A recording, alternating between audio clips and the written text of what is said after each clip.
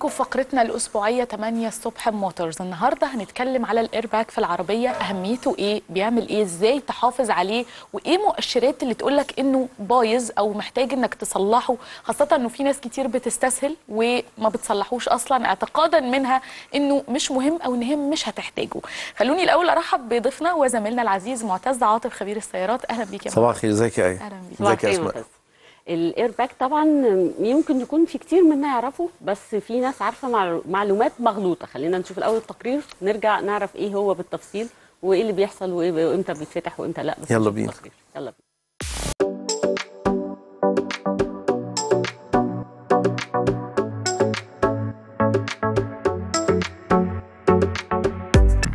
أهمية الإيرباك عشان الحوادث و لا قدر الله في حادثة بتاع الإيرباك إلى حد ما بيحميك يعني. مهم عشان ال- الصدمات بتاعت الحوادث والعربيات مش بالنسبة للسواق لل- للركاب يعني. عشان بيحوش الاكسدام لأي حادث ولا بتاع بيضرب في جسمي بي... يخلي باله من صدري يعني. بتحمي بتحميك من أي مخاطر ممكن تسبب لك حادثة في الطريق ولا حاجة؟ عليها لمبة آه، شخص وفي بالونة طالعة في وشه كده. مش عارف. شكل الكاس كده آه، أحمر.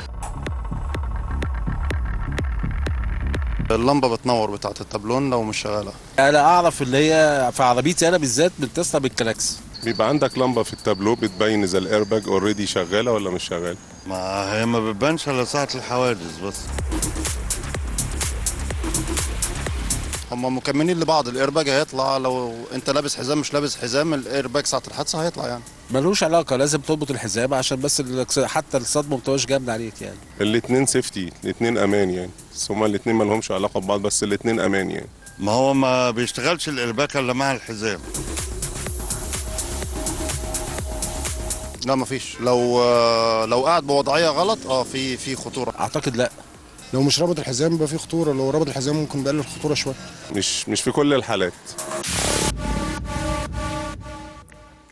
إيه خلينا نشوف بقى ونعلق على التقرير اللي إحنا شفناه. آرائك في اللي اللي قالوه الناس إيه؟ بالنسبة إيه هو الاير باج وبيشتغل إزاي؟ طيب هو بس في أول واحد رد يعني اتفرجت على التقرير معاكم يعني آه آه قال إن إلى حد ما لا هو مش إلى حد ما. هو الايرباج بيحمي بنسبة 60% من الحوادث أو من الوفيات اللي بتنتج بسبب الحوادث. كده مش إلى حد ما، ليه؟ فمش إلى حد 40%. ما إحنا كده متخطين كتير. طيب الايرباج هو عبارة عن إيه؟ عبارة عن آه، مخدة أو آه، ده بال- بالصورة ال- السهلة أو البسيطة. بتبقى في العربية في كذا مكان في العربية باختلاف أنواع العربيات بسبب عدد الايرباج لأن كل ما الايرباج بتبقى آه، عددها أكبر. كل ما تكلفة العربية بتزيد. بيتراوح من كام لكام ولا بيبقى مفتوحة؟ لا يعني الايرباج لما بتضرب الواحدة عشان ترجعيها زي ما كانت. بكل ال- ال system بتاعها بتكلف حوالي 18000 جنيه. لا بتكلم كام. واحدة في العربية؟ يعني بتبقى في الدركسيون. بيبقى في الظهر بتاع آه، الكرسي زمان كان في آه،. آه، واحدة الدركسيون من زمان قوي بعد كده بقوا اثنين دركسيون واللي جنب. السواق وبعد كده بقوا أربعة بعد كده بقوا ستة لغاية 18 لا ايرباج في دلوقتي بقى. في ايرباج من الجنب تفتح ايرباج في السقف يعني بيبقى في ايرباج في كل في حتة الكراسي يعني في تحوطك. البيبان في في, في القوايم بتاع في العربية. كلها آه، في التابلو ف يعني خلاص كل حتة. آه في في البيبان الجنب. صندوق كامل تقريبا بيحوط الايرباج بتفتح انت فجأة لو لا قدر الله حادثة كبيرة قوي آه بتحسي إن انت فجأة كده في حد حاوطك كلك من كل ناحية كل بيفتحوا كلهم حاجة في نفس الوقت ولا حسب شدة؟ الاصطدام مثلا؟ بصي طبعا شدة ال... يعني هي ليها حاجات كتير بس خلينا الأول نسأل على ناس الإيرباج هي مخدة بتفتح في وشي في حال إن أنا في حادثة أكيدة بتحصل اصطدام بسرعة اسمها آه، سرعة توقف deceleration سريع يعني أنا بقف بسرعة جدا فالعربية بيبقى فيها sensors وحساسات بتحس إن إحنا دوسي على الفرامل وانت فجأة آه، في حاجة غلط بتحصل أو اصطدام قوي جدا. الحالتين بيفتحوا سواء مجتمعين أو منفردين ده يعني لو فتحت الايرباج من غير اصطدام بس مجرد إن أنت دوست على الفرامل بشكل جامد ومفاجئ ده مش معناه إن هي فيها خلل؟ لا ما هو ال deceleration اللي هو إن انت بتهدي وفي اصطدام مش هينفع تبقي بتهدي جامد والايرباج تفتح.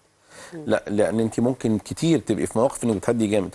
لكن لو الايرباك فتحت من لا سبب آه ده ممكن يبقى عيب صناعة. في شركات كتير كان بيحصل عندها المشكلة دي وكانت بتطلب العربيات آه ترجعها على أساس إن هم يشوفوا إيه المشكلة دي.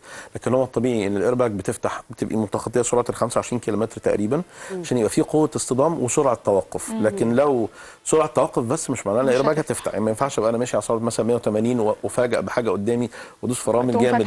تروح فاتحة الايرباج لا لا لازم يبقى في آه، اصطدام في الموضوع ده. من هنا بتفتح الايرباج حسب مكان. يعني أنا لو أنا مثلا الصدمة جايني من الجنب الشمال وأنا اللي في العربية لوحدي وأنا اللي سايق الايرباج غالبا بتفتح اللي في وشي وبتفتح اللي في شمالي. ما بيفتحوش كله في العربية. لكن لو العربية اتقلبت وبقى في آه. لخبطة آه في. أكتر من واحدة يفتحوا خصوصا لو في حد جنبي. لأن كل ما الشخص بيقعد على كرسي بيبقى في حاجة سنسور بيحس إن هنا في شخص فالايرباج من هنا بتفتح. يعني لو الصدمة أو الخبطة جت من ناحية اليمين وما كانش في حد راكب والسنسور بتاع الكرسي مش هتفتح. ما مش هتفتح. غالبا مش هتفتح آه، غالبا هتفتح بتاعت السواق بس لو صدمة جامدة. آه، بتبقى ليها حسابات كده حسب الكمبيوتر ال sensors بتحس بالصدمة وتروح مديه order للكمبيوتر يفتح. بس اللي في اليمين مش هتفتح. لكن لو في حد في اليمين قاعد في sensors بتبقى في الكراسي بتحس بالوزن. أول لما بيبقى في وزن بيبقى هو بالنسبة له في شخص قاعد بيبقى حاطط شنطة. تقيلة بيبتدي يفتح لها دي عشان كده تدفع 18000 تصليح عشان شنطة. عشان كده مفيش أي حاجة المفروض تتحط في العربيات خالص. ويمكن دي من مشاكل الايرباج أو الناس المشاكل تعاملات الناس مع الايرباج يعني أنا شفت تقرير قال احتمال أو غالبا لا هي مش غالبا هي بنسبة 60% دي نسبة عالية جدا. الايرباج بتفتح بسرعة من 100 ل 220 كيلومتر بسرعة قوي. فانت بتبقي يعني داخلة على الحادثة وانت بتخبطي هي خلاص فتحت. يعني ما تلحقيش تحسي هي فتحت إمتى؟ فجأة بتلاقي أيوة. في حاجة فتحت في وشك طب في من كل في التقرير كان بيقول إنه لو أنت قاعد في وضعية غير صحيحة ممكن تبقى الايرباك خطر عليك؟ يعني في ناس ممكن تكون بتقرب كرسي السواقة جدا من بصي هو هو ده جه بعد سؤال الحزام. إيه علاقة الحزام بالايرباج هي علاقة وثيقة. كانت قبل كده اساسيا. الحزام يبقى مربوط عشان الايرباج تفتح عن طريق حاجة اسمها كابل المفجر. الحزام لما بيتشد جامد قوي آه، في صدمة بيروح شادد معاه حاجة اسمها كابل المفجر بيروح فاتح الايرباج لقوا إن الأنظمة دي في بعض الأحيان بتفشل فبقوا شغالين بالأنظمة الجديدة اللي هي بتقول sensors في العربية بتحس أكتر يعني درجة احساسها أعلى بكتير. يعني دلوقتي وأنا ماشية مش رابطة قدر الله حاجة. ومش رابطه هتفتح. آه. عشان كده ناس كتير قوي بيتخيلوا إن هم آه، أنا مش. رابط الحزام. يعني تلاقي واحد قاعد حاطط ابنه على رجله وماشي وأقول له إيه ده؟ يقول لي أقول له الايرباج هتفتح ممكن تضايق ابنك أو يقول تعور لك لا أنا مش رابط. يقول لي ده أنا مش رابط الحزام. هو فبحس إن المفروض هو أصلا ما يشيلش ابنه وهو سايق ابدا لأن الموضوع ده بحس إن هو مش يعني الاطفال بتقعد ورا قال مش كل قدام حاجة أصلا. يعني ما هياش مظبوطة. فهي الإيرباج هي علاقة وثيقة بالحزام. اولا كانت زمان إما الإيرباج بتفتح عن طريق الحزام دلوقتي ما لقوا إن الموضوع ده بيفشل فبقت الإيرباج بتفتح في حال إن في حد قاعد مكان الكرسي. الكرسي على الكرسي والعربية ملهاش ماشية علاقة ايرباج. اليمين في بعض العربيات فيها switch ممكن شغلها تقفليها أو أو تقفليها. وأنا في الحقيقة بشوف إن بس ده في خطر أغلب العربيات لا أعتقد؟ في أغلب العربيات. الحديثه كلها لا. بعض العربيات بيعملوا دي option يقول لك آه، عايز تقفلها اقفلها. ليه؟ بس عشان لو حصل اصطدام أمامي آه. ما يفتحوش الاثنين لو هو ما حدش راكب جنبه؟ مثلا. يعني بالنسبة أو له مش مهتم باللي قاعد جنبه برضه لا ما نقدرش نقول كده. يعني ما نقدرش نقول كده. فده فرق مهم قوي هي بتفتح بسرعة جدا آه. وتروح محوطاني وتفضل ساعتها على طول لأن هي خلاص يعني بعد ما قدر الله العربية بتتخبط أو بيبقى في حادثة مجرد إن هي بتفتح عن طريق غازات بتتفاعل مع أيوه بعض كنت لسه هقول لك بقى ليه لما بتفتح يعني هو ربنا يعافيكم بس الواحد عشان مجرب بيطلع غاز خانق الحقيقة عشان هو أصلا الباب بحس إن ده تسمم يعني. تفاعل غازات مع بعض بتصدر هو اللي بتعمل ال... ال ال ال آه، ال أوكي. الانفجار ده الانفجار ده بيبقى غازات بت- بتضخ زي هواء جامد آه. تنفخ البالونة دي قدامنا تروح آه واقفة في وشنا ونفس البالونة دي فيها من ورا فتحتين كبار بيفضى بسرعة الغاز ده آه. عشان خلاص يعني هو مش المفروض إن هي تفتح وتفضل وتفضل خانق. قاعد تعمل كده. يعني هي المفروض تفضى وخلاص طب أنت قلت حاجة مهمة. أنت قلت طبعا ده دي كارثة دي جريمة في وجهة نظري اللي بيقعد طفل على. رجله طبعا. طبعا. آه كمان مش حاطط الحزام دي جريمة يعني لازم يعاقب عليها أمهات كتير القانون. بيعملوها. بس يعني دي دي واحدة من الستات عايزين الحاجات عليها مش لا الرجالة بيعملوها أكتر. شكرا ياسمين. لا، يا أكتر. حبيبتي، لا، لا،. لا، لا. أخيرا انصاف للمرأة. الولاد دايما مع الستات فالست لا خليني. أقول لك الستات اللي بيدلع بقى ويقعد ال- كده آه. وهو سايق بابا. آه آه ماما ما بتعملش كده. ماما بتزعق وأقعد ورا ومش عايزة أسمع لك صوت. استنى بس هكمل لك السؤال. خلي عشان برضو إيه ما تزعلش. الستات بقى بتقرب الكرسي جدا من الدركسيون وده برضو بيبقى خطر في حالة إنه الايرباك طيب فتح. ده استكمالا لأن هي علاقة وثيقة بين الحزام وبين الإيرباج. ليه؟ أنا المفروض أبقى قاعد قاعدة مظبوطة آه، ظهري مفرود ومسافتي بيني وبين الإيرباج كويسة. يعني إيه كويسة؟ يعني الستات اللي بيقربوا الكراسي بزيادة الإيرباج دي لو فتحت إيه اللي يحصل؟ هتضايقها. هتضايقها؟ جامد. آه، يعني مش يعني يمكن تكون ست ضعيفة يجرى لها حاجة بس هتضايقها جامد. يعني هو المفروض يبقى في مسافة كويسة ممكن ومسافة- تصل لدرجة إنها تكسر الضلوع. بصي هي الايرباج دايما المسافة الآمنة بالنسبة لي إن أنا وأنا سايق يبقى دراعاتي متنية مش الدراعات المفروض تبقى متنية سنة.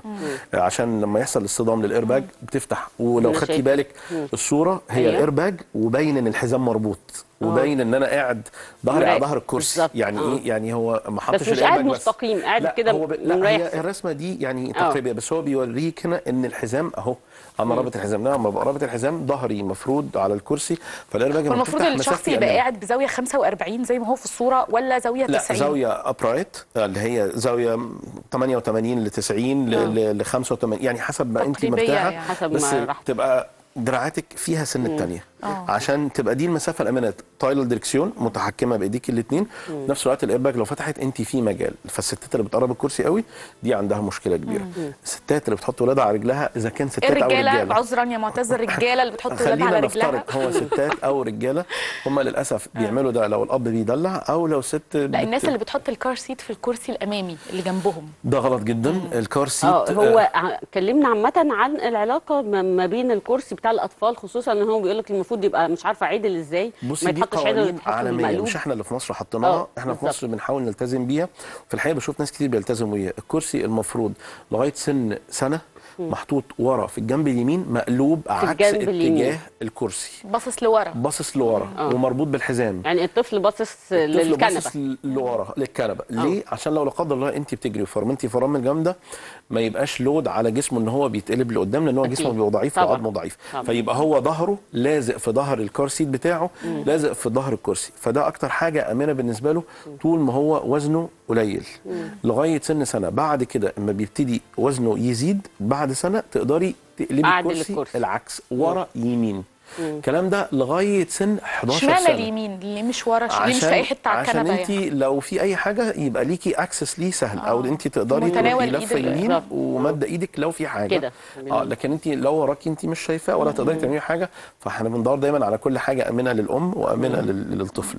آه بعد ما بنعدل الكرسي بنجيبه في النص الحزام اللي هو الصغير اللي اللي في الكنبة طب اللي الناس بقى هو ده كان سؤالي هو ما فيش ايرباج بتتحط؟ يعني دايما بنلاقي فيه مخدعين مش بيقولوا عليها مخدع مخدعين في الخلف في النص ده ما فيش أنا كنت متخيلة إن هنا بيبقى فيه كمان ايرباج هو في airbags في العربيات الجديدة في كل حتة طيب مش ما دي لو حطيت فيها الطفل ده يبقى أنا دمرته لا يعني. هو مربوط في النص فالايرباج ما هتفتح الجنب الباب اليمين والشمال والكرسيين هو في النص هو محاط من ال airbags مش هيروح في أي حتة. هي فكرة الإيرباج إن هي بتمنع اصطدام الشخص اللي قاعد جوه من دريكسيون زي ما قالوا في التقرير إنه يخش في صدرك أو لا قدر الله دماغك تخبط في أي من العربية آه، أو آه، في السقف. طبعاً. هم دول دايما المشاكل اللي بتجيب نزيف اللي بيؤدي إلى وفاة.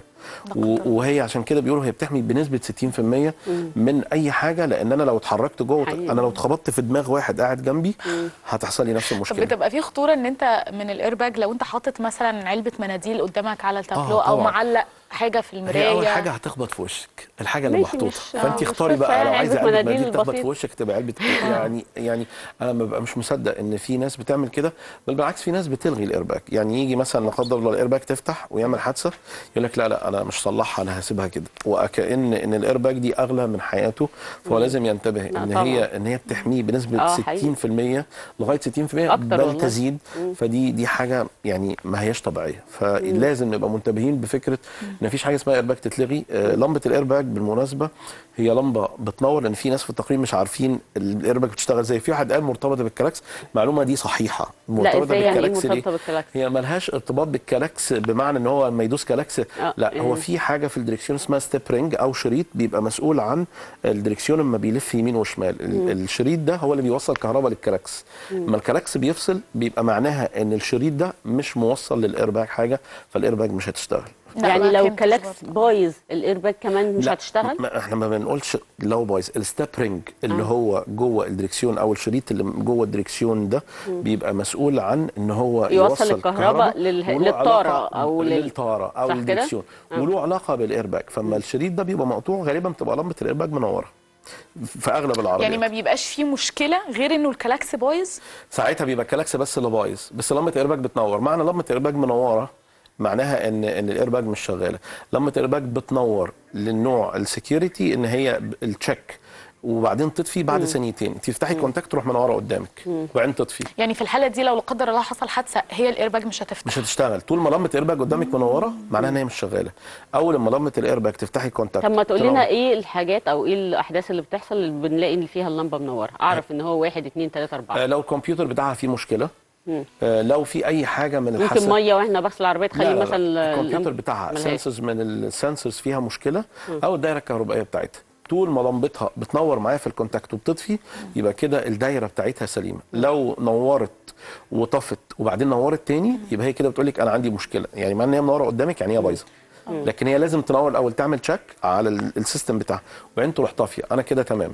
نورت تاني يبقى انت مش دلوقتي مش لا شغال. قدر الله حد, حد عمل حادثة وفتحت أكتر من ايرباج في العربية. وطبعا زي ما أنت بتقول تكلفة تصليحها كبيرة فممكن الشخص مثلا هي هيصلح واحدة أو اتنين. إيه أهم أماكن في العربية لازم تبقى الايرباج شغالة فيها؟ يعني لو اللي قدامه أكيد. أكيد اللي قدامه آه. واللي جنب اللي قدامه. لو إحنا يعني لو انت بتقولي مثلا عندي ستة بايظين آه. هصلح انهي هقول لك صلحي الاثنين بس انت عشان تصلحي الاثنين وهتسيبي الباقيين هو الايرباج مش هتشتغل برضه. ليه؟ لأن انت في الآخر عندك خلل في الدورة. ف... ف يعني إيه هي دايرة كاملة فيها sensors وفيها كمبيوتر وفيها وصلات وفيها عدد airbags مجرد إن واحدة تبقى بايظة ومش شغالة هيبقى عندك مشكلة في الباقيين. فالعربيه مش فعلاً؟ هتشتغل. آه يعني لازم- يصلحهم كلهم؟ يعني يا؟ تشغلي ال system كله يا تلغيه كله. مش هينفع تصلحي واحدة وتسيبي الخمسة التانيين بايظين.